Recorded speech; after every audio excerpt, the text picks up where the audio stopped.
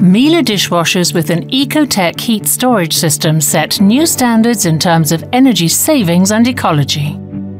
With the aid of innovative Ecotech heat storage technology, the new Miele dishwashers save up to 20% on electricity and thereby exceed an A energy efficiency rating.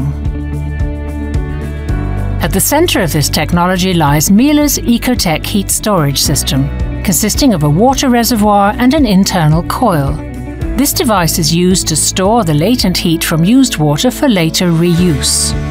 As with any other dishwasher, cold water is taken in at the beginning of a program cycle. An electronically controlled commercial grade heater pump heats the water to the required temperature.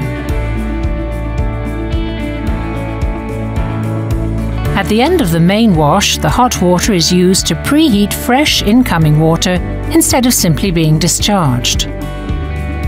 Fresh water enters the Ecotech heat storage system. Hot water from the main wash is pumped through the coil of the Ecotech heat store. The hot water circulates through a separate circuit and transfers its heat energy to the cold fresh water. Once the exchange of heat is complete, circulation is halted and the now cooler used water is discharged. The preheated fresh water now enters the cabinet.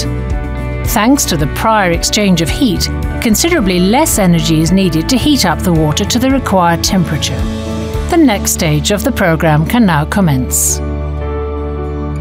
The heat exchange process in the Ecotech heat storage system is repeated after each program stage, thereby saving valuable energy each time.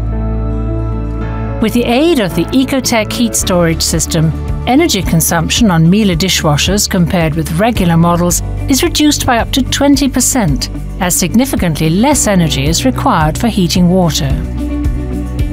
Miele dishwashers with Ecotech heat storage set new standards in terms of energy savings and ecology.